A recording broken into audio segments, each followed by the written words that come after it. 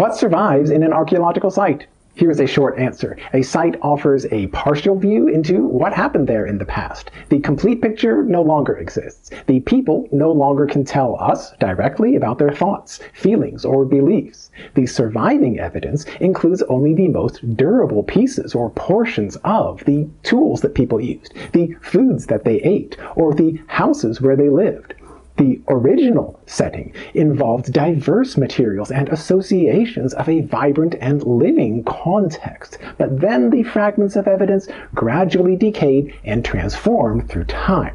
A detailed understanding of those transformations can reveal how an archaeological site today reflects a limited version of the past context. Accordingly, the surviving evidence can address some questions about the past more effectively than others. I hope that you liked this short answer in archaeology. I will see you in the next video.